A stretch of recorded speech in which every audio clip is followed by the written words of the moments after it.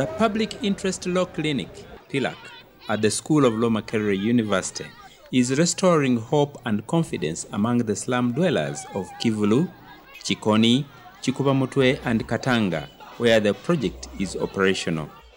Life in these slum communities is characterized by hard work, struggle for survival. It is often a hustle and bustle. No wonder the crime rate is high in these areas. In one incident recently, Jane, a local resident in the slums, was almost thrown out of her house by her landlord, only to be saved by an empowered member of PILAC, who is also a local resident. She had been attending PILAC trainings in the slum communities. The students, the lecturers, and part time advocates are very central in this process of empowering slum communities with legal knowledge in order to improve their lifestyles. We hear the students conducting trainings in the slums.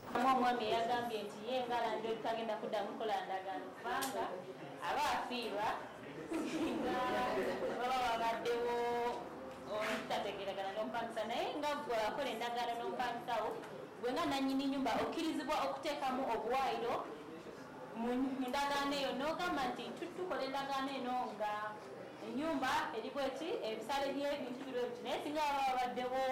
embeera gyetuteebereka for example ne bongeza ebbeeyi y'amasanyalaze niwe n'osigaza eddembe lyo nga landiroodi okwongeza ebisale mu biseera ngaebyo oba okugoba omupangisa oyo mu kiseera eky'omwezi ogumu nti oba tewonyongeza ennyumba nga bayongeza ebintu nange kubanga oyingidde mu nyumba nga amazzi ga sente bwe ziti amasanyalaze ga sente bwe ziti ng'ennyumba etunayo bati singa okeera ennyumba yono gifula ya bisenge bibiri lwakuba mwakola endagaano n'omupangisa eyo ya myaka etano kitegeeza nti ate agenda beerawo nga gwofiirwa ebyo byonna olina eddembe eribiteeka mu ndagaano ku ntandikwa. Mu mateeka g'ettaka tulina kye tuyita limitation nti bw'oba ogenze ku ttaka n'obeerawo emyaka kumi n'ebiri nga landiroodi akulaba takugobangako kiba kitegeeza nti akimanyi nti wooli kati takeera ku makya nakola ki?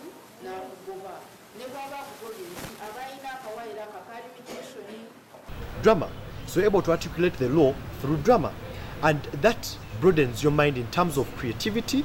You're not only going to look at the law in the terms of written submissions or theoretical understanding, but you're able to appreciate and understand the law to help other communities out there in the most simplistic sense.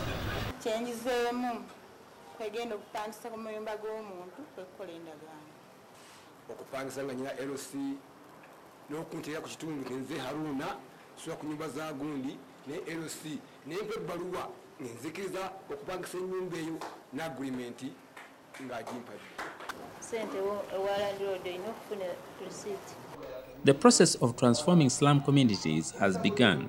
Mr. Franco Kuku, a vice chairman of Kisasi Zone in Kikuba Mutwe, and Alice, a local resident of the area, testified.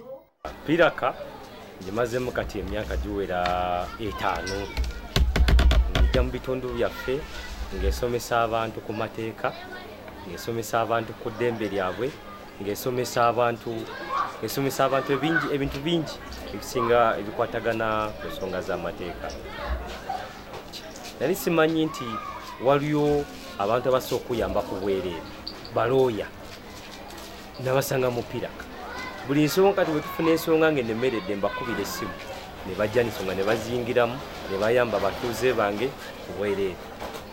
Mu bulamu bwange obwa bulijjo piraka kyesukka eddala okunnyamba empadde amagezi. Nti nebeera nga mu mbeera mu mbeera yonna nsobola okweyisaamu. Ekyokubiri piraka yatugabira obutabo bukwatagana ku mateeka.